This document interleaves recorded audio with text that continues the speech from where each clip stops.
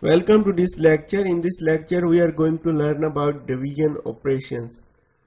So what is the definition for division operations? The division operation defines a relation over the attribute C that consists of the set of tuples from R that match the combination of every tuple in S. R division operator S. Tuples from R will be added into the result if R tuples must be matched with every tuple in S. The division operator is used when we have to evaluate queries which contain the keyword like all or not all for example select person whose account in all the branches of a city or in any wording where we are going to select all records against any single record. So here is the first example. Find the customers who have accounts in all the branches in Multan where Multan is the city name. We have three tables. First one is customers. One ID belongs to Fahim 2 id belongs to Hira Shafiq and third one is belongs to Shujat.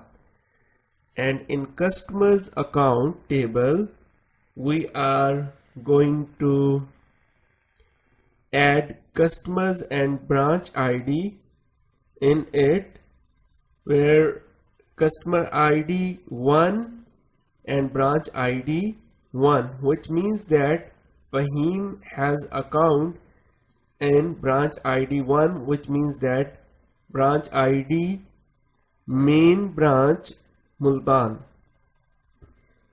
And here is the branches table which contains all the branches. And by using projection operation we are going to select customer ID from the customer's account table.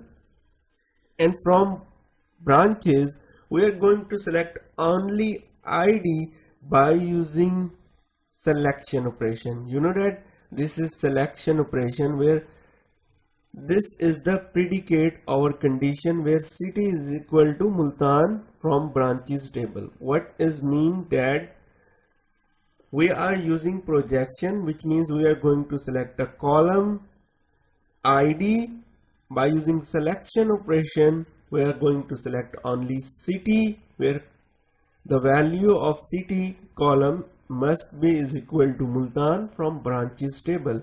And then by using division operation we are going to word result and here is the result.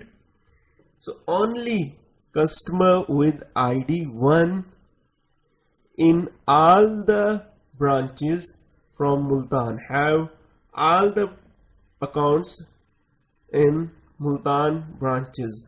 So look at here customer ID 1 branch ID 1 which means from Multan and customer ID 1 branch ID 3 and here is the ID 3 and sub branch Multan. So no other record that have satisfied the condition find all the customers who have accounts in all the branches in Multan. So we are going to select only one record in case of division operation. The second example find the customers who have subscribed not all the offers or no offers. So by using these two tables we can perform division operation is the customers table and is the customer offers. So by using projection operation we can select specific columns id name from customers table. By, by using projection operation we can select customer id from the customer offers where customer id not equal to customer id so we are going to perform this operation. Please open XAMPP server for the implementation purpose. Open test data and after that is the customer table with the following structure. ID with 11 length auto increment and name with varchar 50 and customer offer customer ID and offer ID and here is the offer table which is offer ID is the primary key with integer 11 and offer name is the varchar with 50 length. And like offer customer table is here with customer ID 11 length and order ID with 11 length. So now we are going to select all the customers who have no offers yet.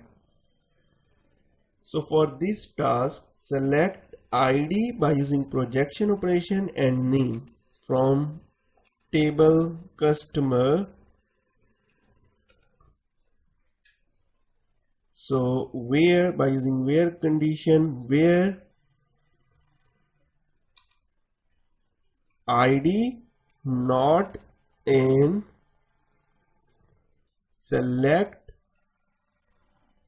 customer id from customer offer Copy the query, press Ctrl plus Enter to execute the query and result is here. Shujat has no offer yet. So look at the customer table.